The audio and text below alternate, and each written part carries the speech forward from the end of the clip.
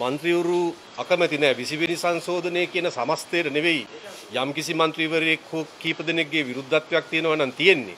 ඒකේ අන්තර්ගත සමහර කාරණා දෙක තුනකට තමයි. එහෙම නැතුව සමස්තයක් හැටියට රටේ ජනවරමින් ජනතාවගේ වරමින් රටේ ජනාධිපති ධූරයට පත්වෙච්ච ජනාධිපතිවරයාට මේ රටේ පොදු ජනතාව අදහස් කරන ආකාරයට මේ රට දියුණු කරන්න ඒ කාර්යක්ෂම මේ කටයුතු ඉදිරියට ගෙන යන්න බලය තිබිය යුතුයි කියන කාරණය ගැන කිසි කෙනෙකුගේ විවාදයක් නැහැ. ඒකට හැමෝම එකඟයි. නමුත් ඒ ඒ සංශෝධනය ඇතුලේ සිදුවෙන සමහර වෙනස්කම් පිළිබඳව තමයි ඇතැම් විට විවිධ අදහස් පළ වෙලා ශ්‍රේෂ්ඨාධිකරණයේ අභියෝගයට ලක් වුණා. ඒ තීන්දුව දැන් එන්න නියමිතයි. ඊනෙන් ආපු රාජතාන්ත්‍රික දූත පිරිස මෙහි පදිංචි වෙන්න ආවේ නැහැ. ඒගොල්ලෝ හිටියේ දවස් දෙකකටත් අඩු කාලයක්. ඒගොල්ලෝ එහෙන් ඒ එයාපෝට් එකෙන් එනකොටම PCR පරීක්ෂණය කරගෙන ආවේ.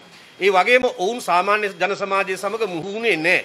ඔවුන් මුහුණා නම් මුහුණේ ඒ රාජතාන්ත්‍රික පිරිස් සමග පමණයි. ඒ කියන්නේ අපේ ආණ්ඩුවේ ජනාධිපතිතුමා අගමැතිතුමා ඇතුළු ඇමතිවරු ටිකක් උණ ගැහිච්ච එක තමයි උනේ.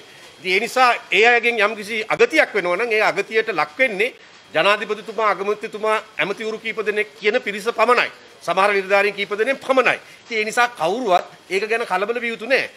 පිටරටකින් කෙනෙක් ඇවිල්ලා මේ රටේ ස්ථාවරව ඉන්න හදනවා නම් මේ රටේ වැඩපොලක වැඩ කරන්න හදනවා නම් මේ රටේ පදිංචි වෙන්න හදනවා නම් එහෙම අය සම්බන්ධයෙන් තමයි අපිට දැඩි නිරෝධායන නීති අනුගමනය කරන්න වෙන්නේ. නමුත් කිසියම් රාජතාන්ත්‍රික දූතයෙක් ඒ රටේදී පරීක්ෂණය කරගෙන ඒ සහතිකය ඇතුව ඒ වගේ මිතාම සීමිත රාජතාන්ත්‍රික පිරිසක් පමණයි මුණ ගැහිම සිදු වෙන්නේ.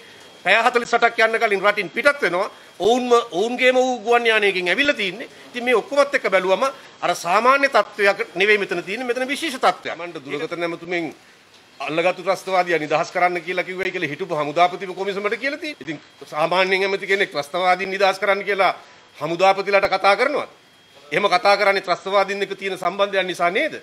මේවා රහස් පොලිසිය හරියාකාරව පරීක්ෂණ කරා නම් රිෂාඩ් බදුරුදීන්ගේ බදුරුදීන්ගේ මල්ලිගේ තියෙන ඔක්කොම කතන්දර ටික එළියට එන එක වළක්වන්න බෑ.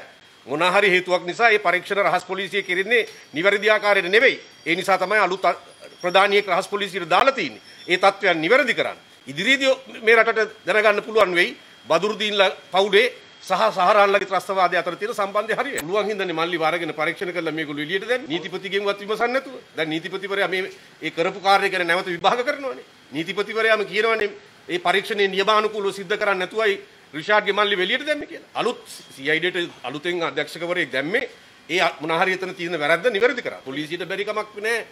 යම් කිසි සැකකරුවෙක් අත්අඩංගුවට ගන්නවා නම් කඩිනමින් ගන්න. රිෂාඩ් බදුරුදීන් කොහේ හැංගුණත් කඩෙන් අල්ලලා අරගෙන එන්න පොලිසියට පුළුවන් වෙන්න ඕනි. සිය ගත්තත් මේ පරණ නිලධාරීන් ඉන්නෝනේ මේව ඇතුලේ. මේ ඔක්කොම අලුත් වෙලා නැහනේ. ඔක්කොම වෙනස් වෙලා නැහනේ. ඉතින් ඒ අයගේ කකුල් මාට්ටු වලටත් මුහුණ දෙමින් තමයි මේ කටයුතු කරගෙන යන්න වෙලා තියෙන්නේ.